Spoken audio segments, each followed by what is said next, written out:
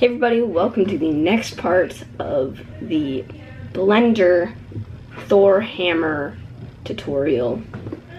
Today we are going to be making the textures and make this look a little bit more dirty and more like Thor's actual hammer. So to start, I'm going to select it and make these textures along here kind of pop out at you.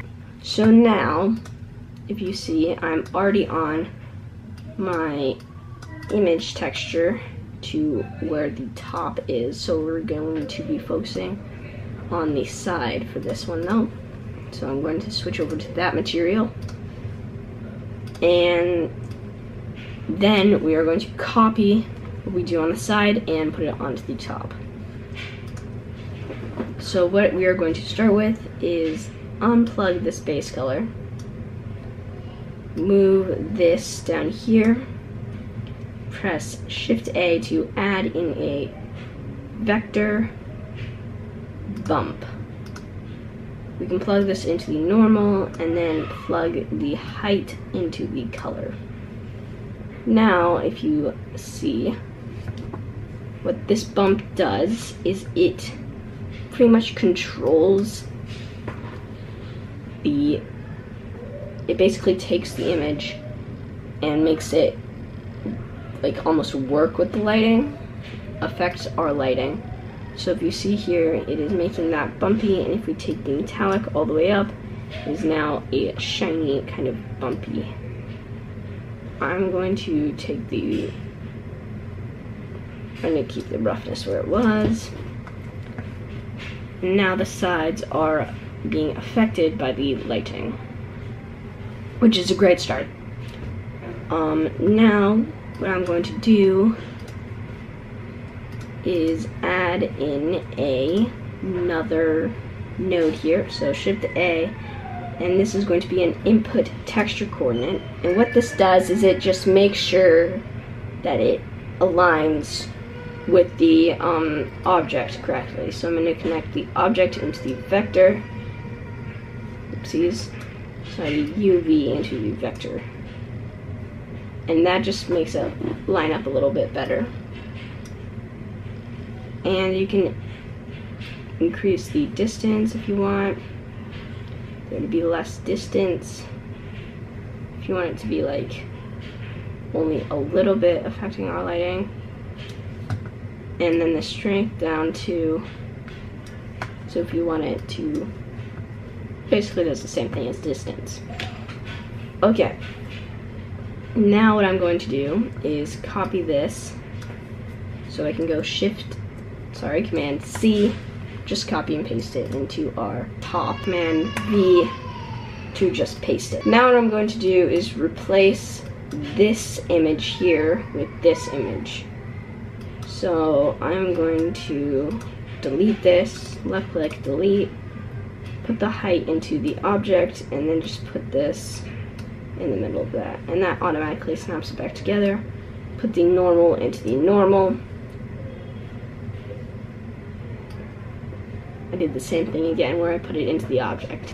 Okay so now it is not metallic. So all I'm going to do is take this metallic and crank it all the way up. And now it kind of matches this which is perfect. So now we have our um, engraved texture engraved, which is great.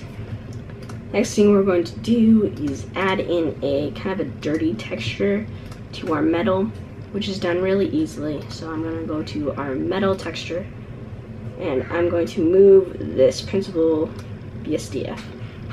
What we're going to do is a mix two textures together to make this kind of look dirty. So what we're going to do is sh shift D, this principled BSDF, which just duplicates it. Then we're going to shift A, a shader, mix shader. And this just mix mixes the shaders together.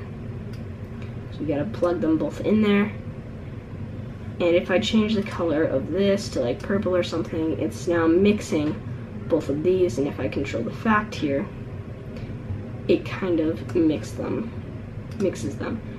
I'm going to actually just make this black because it's making it dirty and turn the metallic down. And I'm going to take the roughness down a little bit too. So now two different textures. So what I have to do here, this back to where it was, is in order to make these kind of mix together and have kind of the little bit of noise with the black texture and have them kind of mix together in a cool way to make it kind of look dirty, you're going to have to add in a color ramp. So uh, this is a converter color ramp and just move it up here. Put the color into the factor. And now, if I move this, you have a little bit more control over which color is being used, but this is still not what we want. We want them to kind of clump together. So how we do this is we're going to add in a noise texture. So texture, noise texture, plug the fact into the fact, and now you can adjust how much black you want. And we're going to also add in a input texture coordinate. And this one, I think it's going to be into the vector. Oopsies, the UV into the vector. Perfect. And you can mess around with these. For mine, it's looking pretty good. I might want to change the scale just a little bit. And then the detail, I'm to crank up to 9. So now we got some dirty metal, which is perfect. Now we need to scale this up a little bit. Now what we're going to do is do the same thing for our other metal, which is this material down here. How we can just copy and paste this again. So just copy all of this, but not this principle here. So I'm just going to go Command C and then go into my um, material here that is the gold and I'm going to go Command V to paste it and then I can just put it down here. Please, this. Plug the shader into the BSDF and the shader into there and that is just gonna make it dirty. You can adjust kind of the settings because this is probably a large, too large, you can't see how it's dirty, so you can adjust this scale here. If I control shift, click on this, which by the way is using an add-on that comes with Blender, which is the Node Wrangler. I can now use this to see what I'm doing. This one was actually connected to the object. And now it is looking correct. So if we scale this back up, so that's kind of a dirty look. We can now change that back to white. And this one, I'm just gonna make a little bit more dirty because I'm guessing I'm guessing Thor's hands are always dirty. With all those bad guys he's dueling. And now I can control shift click on my mix shader and it just brings it back and now our metal is a little bit more dirty. And the last thing that I'm going to do is just make my leather material look leathery. So back in my leather area, I can just Command V my whole texture in here again because I'm just going to use it to make it look dirty. So I can put the shader into the shader and then this into there. And change the object, change it from UV to object. Now, if I can control shift click on my uh, color ramp, you can now see that it's working. And this is just gonna start on creating a dirty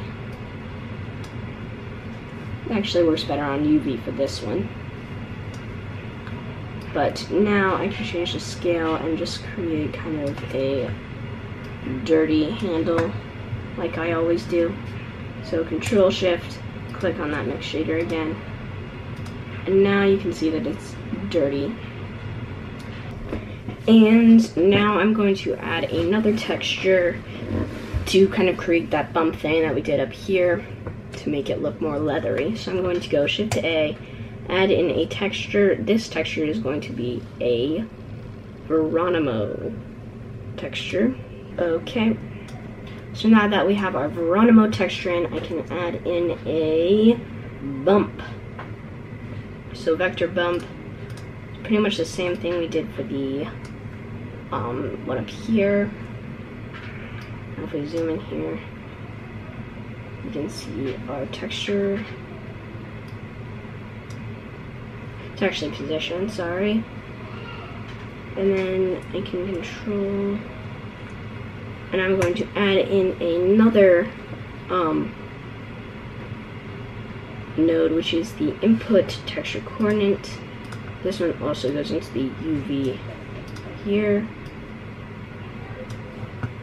And now I can turn the scale down. Something kind of fall, uh, something kind of small. And then the strength down here too. And that'll create kind of our leather texture, which is what we want. So now that we have finished up our texturing, I added in an HDR, which I got from Polygon. That was the result of my finished render. So thank you guys so much for watching, and I will see you soon, I hope, on my next tutorial. I don't know what I'm making, but if you liked this tutorial where I made something from a movie, you guys can suggest another thing that I can make in a tutorial series. So thank you for watching and I will see you next time. Bye.